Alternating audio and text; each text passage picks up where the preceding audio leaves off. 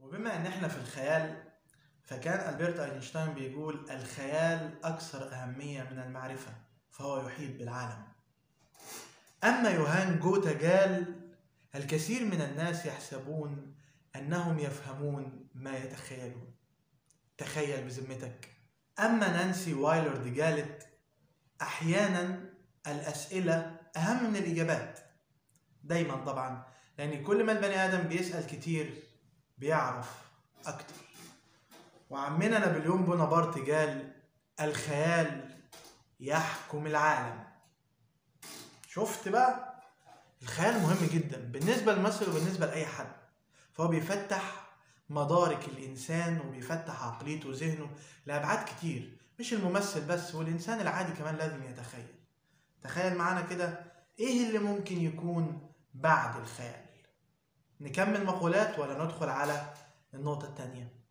قبل ما ندخل على النقطة التانية ألبرت أينشتاين قال المنطق يأخذك من ألف إلى باء أما الخيال يأخذك إلى كل مكان. ومن هنا هنروح على النقطة التانية وهي التركيز. ركزوا في النقطة دي جدا. نركز مع بعض ونشوف التركيز اللي هو فوق في قمة الدايرة دي. التركيز. مهم جدا التركيز. وندخل على التركيز.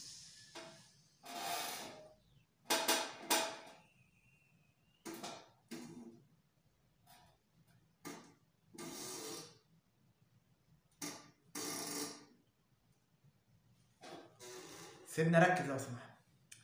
هو أنت جيت؟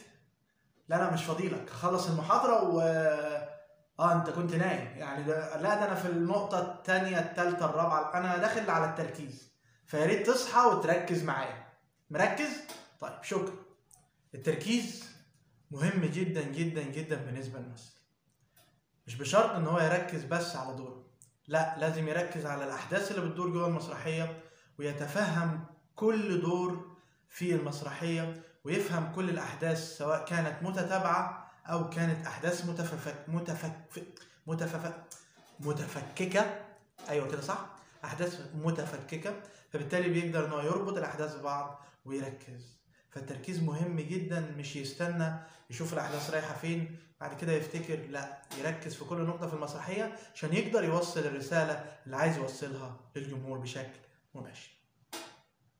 ومن التركيز ندخل على التدريب البدني. الممثل لازم يكون عنده لياقة يبقى عنده فتنس يبقى عنده آه، قدرة على التغيير ممكن يلعب حديد ممكن آه، يعمل رياضة بشكل أو بآخر. المهم إن هو يقدر يعمل حركات. الرياضة بتساعده البنية الجسمية بتساعده على إن هو يقدر يتحكم في حركاته على خشبة المسرح وبالتالي على آه، قدرته على الوقوف على على القعدة على على المشي على الجري على النطنطة على ال... أي حاجة ممكن يطلبها منه المخرج مرتبطة بجسمه. فبالتالي لازم لازم يخلي عنده تدريب بدني أو تدريب جسدي بشكل آه، مباشر بشكل يومي أو بشكل يوم من تاني يوم أو بشكل أسبوعي. المهم إن هو يدرب نفسه وما يسيبش نفسه للسمنة أو ما يسيبش نفسه إن هو يفضل ضخم أو رفيع خالص. فبالتالي التدريب الجسدي مهم جدا بالنسبة للممثل.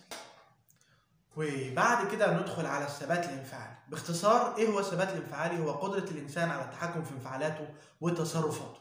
فما يغضبش بصورة كبيرة أو إن هو يحزن بصورة كبيرة برضو أو إن هو يفرح بصورة كبيرة. المهم إن هو إيه؟ يسيطر على تصرفاته وانفعالاته. ما يبقاش فيه انفعال ما يبقاش فيه تنشنة. الانفعال حاجة صعبة. فبالتالي لازم يدرب نفسه على الثبات الانفعالي.